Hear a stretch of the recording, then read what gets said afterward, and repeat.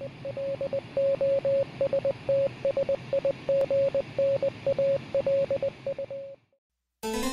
evening, and welcome to Bon MOTS Presents MOTS Ado About Nothing, Lots to do about nothing. Lots to do about nothing. where we apply the revolutionary MOTS scale to classic and contemporary literature.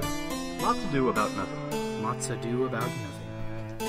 This podcast contains mature content, spoilers, language. You have been warned.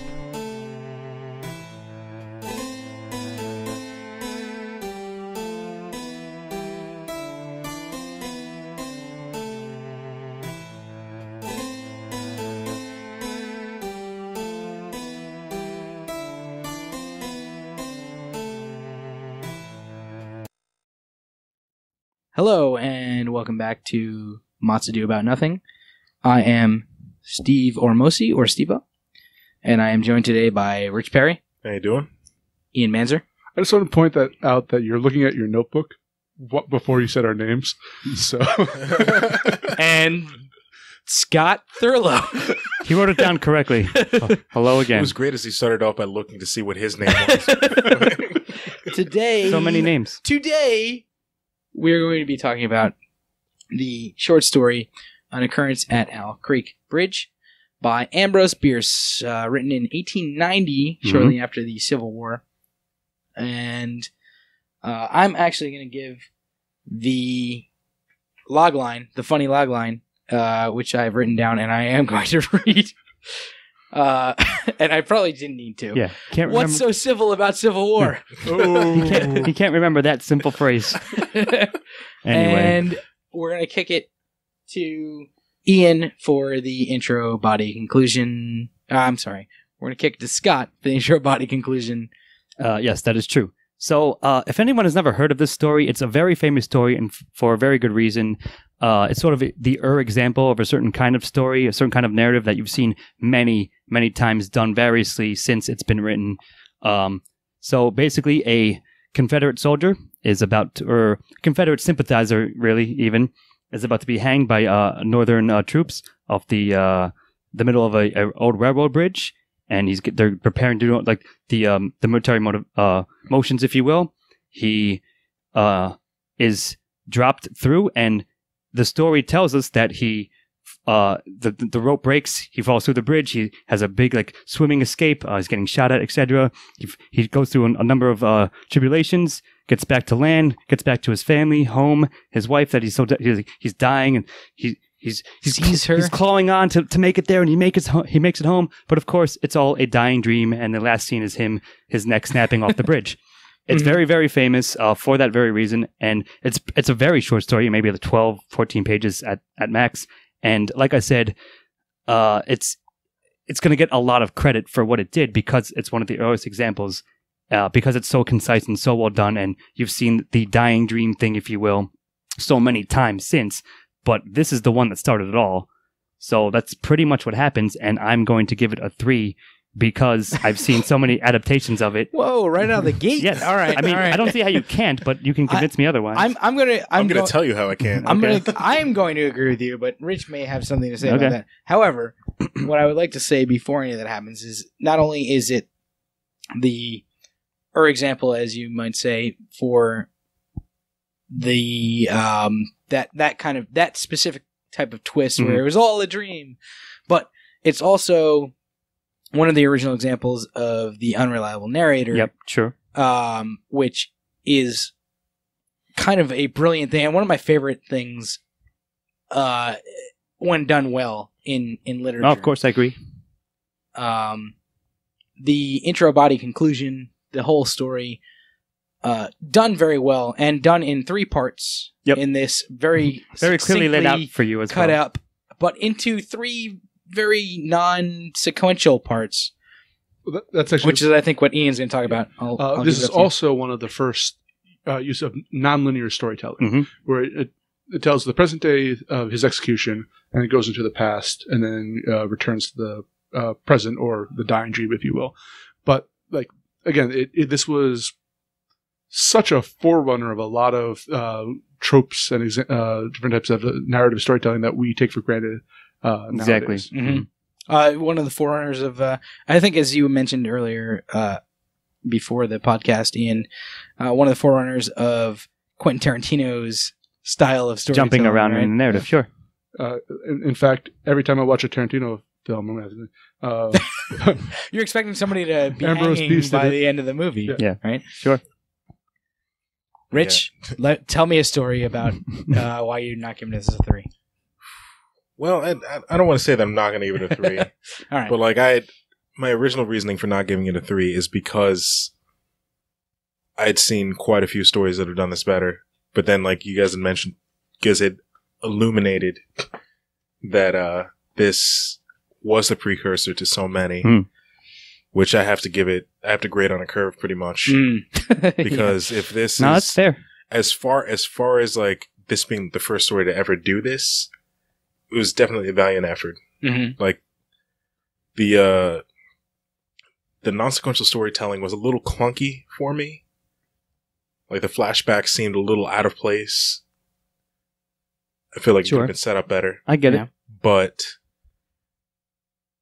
it was it still worked. It still worked. It had kind of not too much of a bearing on it in the sense that well looking at it looking at the story like it had not too much it didn't have too much of a bearing on it except to set up the fa- or to set up why he assumed that he was going that if he could make a break for the bank he would have made it to freedom mm. i like that he I, I like that he took the time to tell why he came to that conclusion but Now, what's interesting, and this is a, I, I mentioned to you precast, I want to ask a question about this story, and specifically deals with that second uh, part of um, the, it, the the reflection upon why he did this. Um, was the person who told him about the bridge actually a a, a forward scout for the Union Army, or is he trying to like as an, he's an unreliable narrator, and it's demonstrated in this section is he saying like trying to find an excuse for like is this his justification for why Well, he got caught? If you, if you allow me to speak quickly, because Sure. and before you go, um, a couple of things that you guys just mentioned. I never actually thought of it, but at least in, in terms of that deeply. But uh, let's be clear: it's yes, it's unreliable narration, but it's not unreliable narrator because it's not in first person.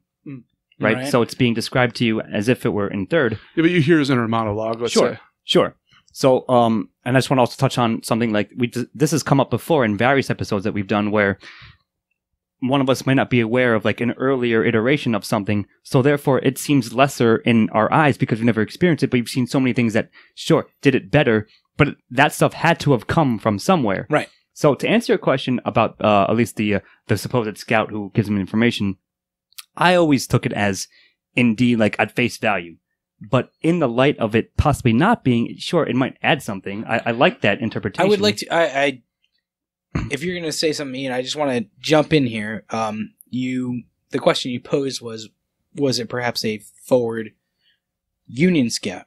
Well, And the narrator, or not the narrator, but the main character, uh, Peyton Farquaad, ripped off from Shrek, obviously. sure was was a was from the south. So you might have you you might have met a Confederate scout no, I when you think said that, I think but- in but- the story itself it says that the guy is a spy. is a spy. I didn't I didn't pick i didn't up. catch that at either I didn't pick that up, but maybe up maybe either. it did maybe it did say that. Um, and that might have been just something that I missed.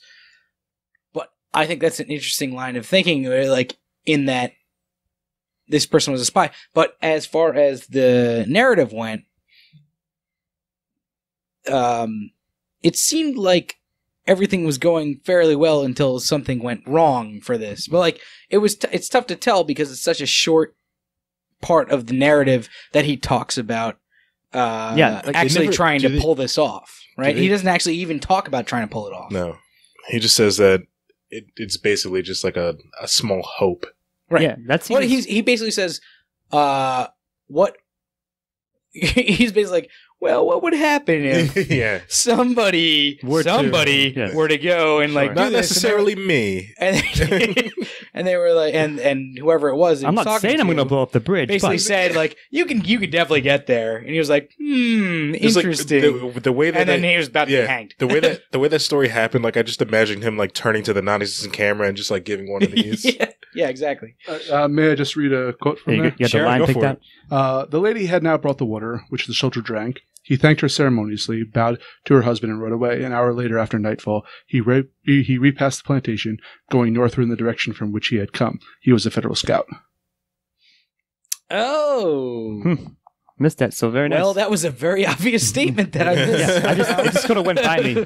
And if, my argument is that it's actually the interpretation you have that it wasn't a Federal scout, that he had was trying to find an excuse for why he got caught. And, because- and- Right. and earlier on, he says that he couldn't have been a Confederate soldier, but he's not going to get into that. So you Yeah, you get a lot of like, in a sense, him making excuses. I'm just trying to No, no, draw I, more I, out of the story So that- than that I'm very actually- glad that you brought that up. I did. I Yeah. missed that part, Yep. and that's a very important part of the So story. it, that I, it, both, it I bothered me a little bit that they didn't really give too much information on why he was being hanged, but then I think it made the story stronger I think, to yeah, have it be but I also think I think it was. I think it was obvious why he was being hanged by, you know, insinuating what he was going to do from the earlier part. And I, Sure. I kind of like that they left that part, uh, that, that Left Ambrose it vague. Bierce left that part out. Like, it didn't need to be said. You knew why he was getting hanged, right? Like, I, I don't think there was any. I don't think there was any real like question. He obviously tried to go and burn down that bridge, and that's why he was on that hangman's noose. You know, I don't disagree, and uh, in fact, yeah, I, that's really excellent that you pointed out because I didn't really like. It sort of like went over my head, like it just went in and out, if you will. But you're right, because of the nature of the story, it could be that he was obviously a Federal scout because we only have what the narration Well, tells it us. it does say that apparently. Right, but because it's a flashback, right? Because it's again framed in unreliable narrator, we can sort of rabbit hole ourselves. Yeah, I don't. that's Want, true. I don't want like we shouldn't. it's it's sort of it's sort of the opposite. It'd be, it'd be great if that was like a realization the main character came to as he was being hanged. It's like, Yeah. well, shit. yeah, Son he was a, you could have that. federal I'm saying you could have that interpretation too. I'm just saying it lent itself to various, like a number of them. Yeah. But I don't Yeah. like it's almost, it's almost the opposite of it's neither here nor there. It's an important detail, but because you don't know the truth, you can never Mhm. actually be sure. Well, let's let's say let's let's lay this to rest because I think this is going to come up again in Yeah. dialogue and again in style, probably a little bit. Uh, so let's lay the intro body conclusion to rest. I'm going to give it a three. Three for me. three for me. Three. Three's all around. All right. All right, sounds good. Uh, and that's going to bring it to me with themes. Um, obviously, this is a Civil War story, and it's it's got a lot of like roots in. It, oh, not it doesn't have it is the roots of a lot of other types of stories Yes. which I think is really interesting. And I and and I think that some of those themes come through. But it's it's this idea of like trying to get home again a lot and like and and also the things that you think about right before you die, right? Sure. Um which is interesting. I don't know if it um is truth, right? But like a lot of things have borrowed from this like your whole life flashes Sure, before absolutely. your eyes before right. you die like the things that are important to you come to you before you die and i think that this explores all those things very neatly and succinctly um and i think it does a good job with that i, I don't know what you guys say I, I would love to hear what you guys think So I'm going to say that this is a study in heroism, Mm. and that you have a, a I can character, Lord Farquaad, who Mhm, mhm, mhm. is so desperate to be a hero. He, for whatever reason, did not partake in the Civil War. He couldn't be a soldier. Uh, he wants the glory, the recognition, to do his part. Mm. He's taken away, and the hero story we see is him escaping from this tragic fate, Mm. right which is a, a entire illusion, a manufactured lie he tells himself to like justify his death in a way. and to Uh, and to i think take the pain away from Yeah. his death right Both of he those is at once. he never in a, way, in a way to bring up joseph campbell here he senses uh, the call to adventure but fails to Sure. like he, Achieve he it, never yeah. gets he never No, It was, guess it was never given but to he him. but he does get the uh what's the, the escape or whatever it's- magic flight. yeah, Yeah. he does get the magic flight which is the most magic of all because it doesn't actually exist. yes Sure. Uh, it's actually a really tragic story about uh, a man who fought a losing war in a way like the civil war in general Eh, Like, tried and failed Yeah. Well, of course, that's what I'm going to say. Like, I think that's the most obvious theme, or at least one of the that. Yeah, that the fruitlessness and the tragedy of war, especially given in light of the war it was written about, i.e., the Civil War. Sure, I think it's all definitely contained therein. But again, I think it's uh, maybe we'll discuss this sort of entangled with with style, maybe a bit.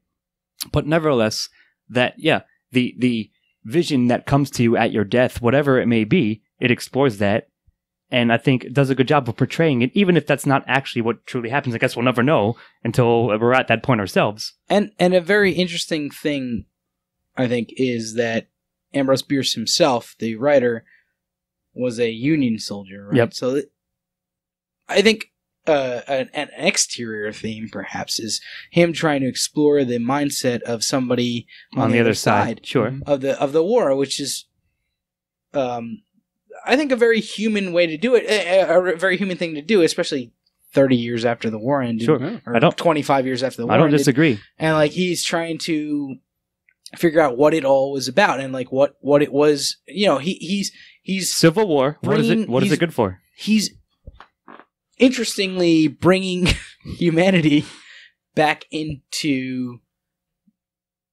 uh, probably a side that he had to dehumanize to a certain extent Mm, when he was fighting against them right Absolutely, sure. and i think to your point the when the representation of the union soldiers they're in a sense automatons in a way they're just To going People through the who- motions yeah, right, exactly. soldiers. Yeah. um so he doesn't glorify the union at all No. uh he just it's a tragedy for confederate and it's an interesting. he doesn't even like- describe them as human, Yeah. really. Yeah. Everyone Just loses. products of their uh, Yeah.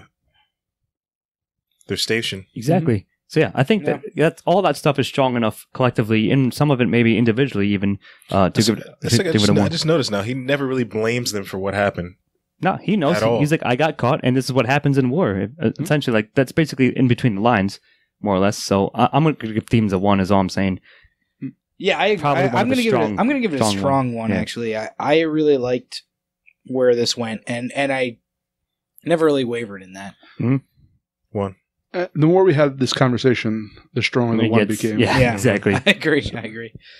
All right, so uh, we're going to go to antagonist with Rich. So uh, we going with the abstract and the antagonist being war. Yes, We're going with whatever you want. I was going to go with that. Obviously, it's, it's been a, it seems to be like recently it's been a frequent occurrence with us, Yeah. but I, I I don't see how you can't call at least part of it that. So go on. Yeah, like the like he's just a, he's a product of what's happening, and he like as soon as he got the chance to, I guess, live out his dreams of becoming the important soldier, Mhm. trying to live up to the ideals that they've been peddling for this battle that's been going on, he jumped at the chance and fell short. Yeah. No, no, exactly. Like it's, Like- it's it's tragic for sure, but I mean that's pretty much Like a poor man's What Evel Knievel. he fell onto the bus. Hey, war. He, he- he got paid for the attempt. yeah. Got His by payment was a rope around the neck. you got Yeah. hit by the bus of the Civil War. So like yeah, I mean, uh, you know, fans and audiences, and you guys know that I'm a proponent of choosing an abstract like thing, but I, I think you can't escape it in this story. Well, it's, it's impossible to escape it. Right? Yeah. Sure, like just like the end of his uh, noose Exactly. It is inevitably there. And yeah, the, the the northern the federal soldiers like automatons essentially. Like they might as well have been, Mhm. right? But I think that's an aspect of the dehumanization factor that you were Right. saying for sure. So I- I'm going to give it a strong one on both fronts because of that. Yeah, well, I have to say, like, there's there's, no, there's no else. real personification of the antagonist. Sure. And that's No. what's sort right? of like the it's it's just horrifying this- thing about it. It's just this like fear of death and Yeah. like the specter of death like looming over him the entire, literally the entire time. Because, Yeah. like I said, he like he gives descriptions of characters that are there to go about his execution to make sure it goes through, and all he ever does is describe their rank, their uniform, Yeah. and what weapons they're carrying. Yeah, Exactly. because that's Like all he would know yeah, about them, exactly, right? Like, they're they're instruments of the war. Yep. And as much as he's not the narrator, he's the one whose eyes you're seeing this through. hmm sure. Absolutely. Um, so I'm going to give it a one. I agree Same. Same. One's all around. All right. Protagonist Farquaad, Mr. Lord- Farquaad. Mr. Farquaad. Lord Farquaad, Lord Ian. It's please tell Farquaad. us about Lord Farquaad. I I think we've said everything we, that needs to be said about him. Like he's a very tragic figure. Um, I, I sympathize with him, which I think that at the time would have been Even uh, more effective, heresy of perhaps. some Yeah. sorts. And um, I, I, like, I don't think there's much more to say about him.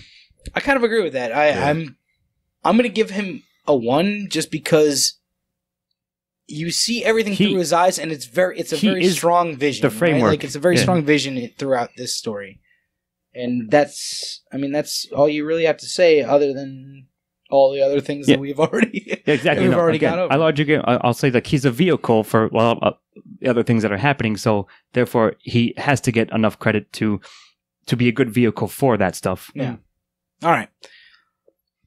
Mr. Scott Thurlow, So- tell us about the supporting characters. So somewhat conversely, I mean, we just mentioned them, the wooden soldiers, the tin soldiers, if you will, because like that again, it's not the point. Doesn't need secondary characters really. Like whatever ones are there, like even the flashbacks of his family, and even like the the federal scout, if Mhm. as we mentioned, they're just there to, in service of the theme. I would say, more or less, like f- for a large part. So while they exist in the story, it, that they're just there to round it all out. They're there to highlight the, the, the, the more major things that we already talked about. Yeah. So would you say the theme is the secondary character in this? Yeah, and the best Wow. one, like it counts as its own The one. theme is the theme. yeah, I'm going to leave it there. The- but, like, yeah, the secondary but characters. you know what I'm this- trying to say. Yeah. I agree. I, I agree with you. And the secondary characters in this are furniture, Yeah. basically, to the story. They they serve And- it and they are described as such. and, yeah, exactly, exactly. yeah, precisely. Exactly. And I, you know, I can't, I can't, I can't, in all good faith, give give supporting a one, or even though, not er, no Uh, er, forget the er, even though, uh, It's not. a I think this yeah. is a. I think this is a really well crafted story. I think it's a really well done story. I just don't think that supporting characters are a part of it. exactly, and we've done that before. So Nor would their inclusion have helped the Help story. the in story, any way. exactly. in fact, it may have hurt it even. Like if they if they try to like flesh them out. Yeah. But again, it's not it's not per se like a fault of the story. Just that it isn't the focus of it. So But it's- therefore, they weren't. But it's still necessary. zero for me Yeah. for supporting. Yep. I assume everybody else. Yeah. yes, sir. All right. Well, then it's going to be on to me with dialogue. I don't really remember much dialogue. I don't think there is any. There isn't. any dialogue. In Wait, this. I'm sorry. See, now we No, no, no, no, no. No, wait, wait, he it was talks in his to, head. He talks to the no, no, no. Well, theoret- perhaps, but he talks to the soldier right briefly, and he talks to his wife briefly. Uh, sure. you said, I'm like, gonna two I'm gonna words. say something in style that will deepen the way that I'm talking about this, but Sure. I'm not gonna say it right now. Uh, I don't think there is any dialogue really, which means that I mean certainly there is internal monologue dialogue, which is fine, but it's not it's not overwhelmingly good, right? It would have to be for me. It would have to be overwhelmingly good to get over the fact that there's no actual dialogue in the in the story. So I'm probably going to go on the weaker side of this unless somebody can convince me. I'm not going to convince you, but again, this is something we've come up against variously. Right. Where should we count like the monologue, inner whatever inner monologue there is itself as dialogue? But I think I'm I'm going to lean on your side in this one. That again, sort of a de facto default zero probably, just because again, it is not the point. It doesn't need dialog Mhm. per se. Right.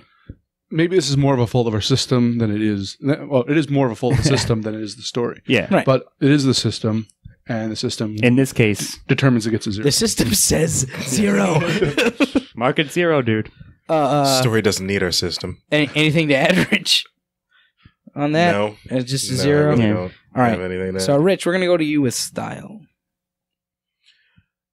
I guess I said precast. Like I was, I wasn't initially a fan of the intro or the start of the story, the intro to the story Mhm.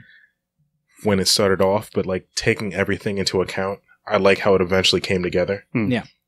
because like it spends a painful amount of time describing everything that he's seeing up until his imminent death in excruciating detail. Yeah. And then That's like kind of the point. yeah, and like after you find out that's his dying, his dying Vision, if Vision. will. Dreamer, yeah. vision, dream, what have you, and he's trying to take in the last of his life before that rope snaps his neck. Mhm. Like I very much enjoyed it. Like he, especially, uh, especially like his description of his dying dream of how he's like all the sensations of getting away. Like even though he's he gets shot up. He has And, the, like, the he- feel. yeah. The, the I really love the end of it. I'm sorry to interrupt you, but Yeah. like I really love the end of it where it says like he feels the rope tighten and he feels his throat dry out and his Mhm. tongue sticks out. Right, like this is Yeah, things that would actually happen at the end of a rope, right? And it like the, this As is they're the end of actually the second being hanged. Yeah. Yes, sure. that this entire story takes place over, and like that's what I that's It's what like I the- really yeah. love. each of the each of the moment like every bit that happens like as he's being hanged is punctuated in the story Mm. at certain points that catch that bring him out of his dying dream for just a half a second. Yeah. Yeah, and then he claws his way back right. to try to see his wife again before he passes on. Yeah. Um, I'm sorry. Let me just put this in here before I forget to do it. Um, this entire story takes place over the you know time frame of probably a minute However long it takes for Mhm. someone to suffocate. right like they they do rope, and, and yeah. most and almost all of that is them like preparing the first part Yeah. preparing to hang him. The second part is like this setup and like the, or not not necessarily setup, but like the pay uh, payoff of like him getting set up and like going and trying to burn this bridge. But that's I to me that's all in his head, right? Of like so course. yes. there the this entire story is like you know some guys take him out onto a ledge and they leave like most of them leave. The last guy takes out the thing from underneath The his foot plank, the plank yeah. from underneath his foot and he hangs right? That's a minute maybe. And like it's it's such a detailed story and spans such a long time frame in his mind for how short of a story it actually is, which is kind of a genius thing to me, It's- especially since It's very effective. probably Yes. not much like this existed before it, if anything. Um, I think it's a really interesting way to tell a story,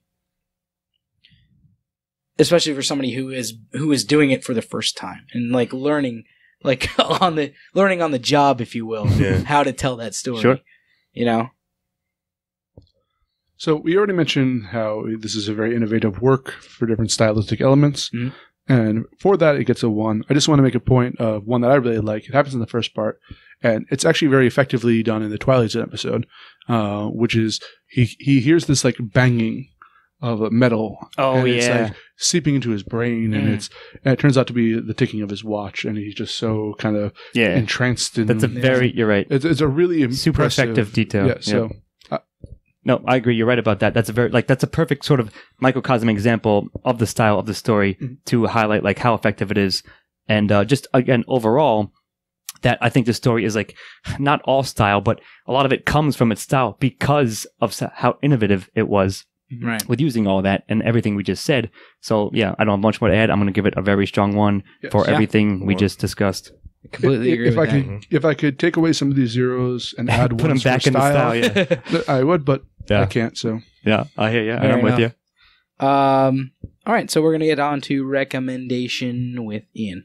uh, yeah, uh, I think that if you are listening to a podcast about uh, short stories, uh, you should read this. It's uh, considering its age, it's inoffensive in the like the like it's, it doesn't drag on too long. It's a pretty quick read, and it should be read for kind of historical purposes.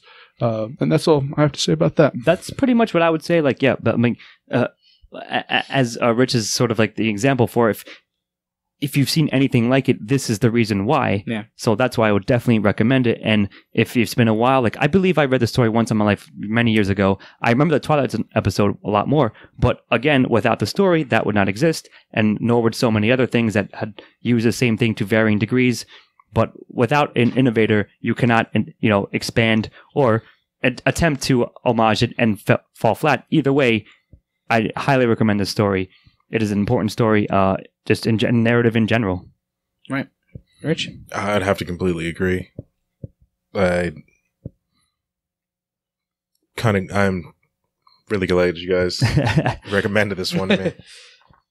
Think of it think of it as homework, if you will, but Yeah. in the best way. it's it's something that I, I had. This is the first time that I had read this story somehow. Um, it's a classic short story.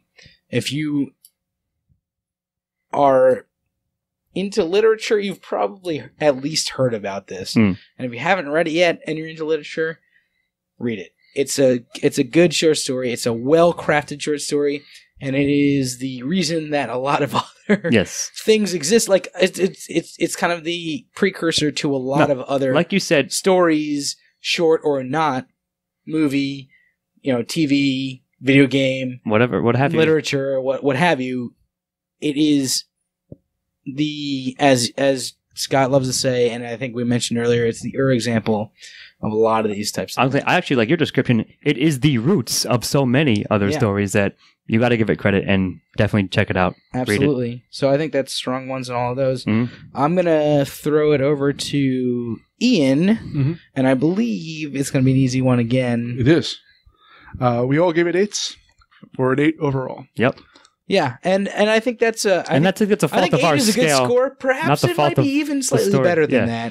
that, um, in my mind. But but I think an eight is a is a pretty solid idea of what this is. I think it is. We didn't give it zeros really on any fault of its own. We gave it zeros because our scale Yeah. made us give zero. exactly. exactly. Yeah. Um, so that's going to be it for uh, an occurrence on Owl Creek Bridge. Uh, I have been Steve Ormosi here with Rich Perry, Good night. Ian Manczur, A figment in someone else's dying dream. and uh, Scott Thurlow. Good thing you looked at your uh, your notebook there. I was going to say, I, I'll to have my own dying dream. Good night. See you next time. Have a good night.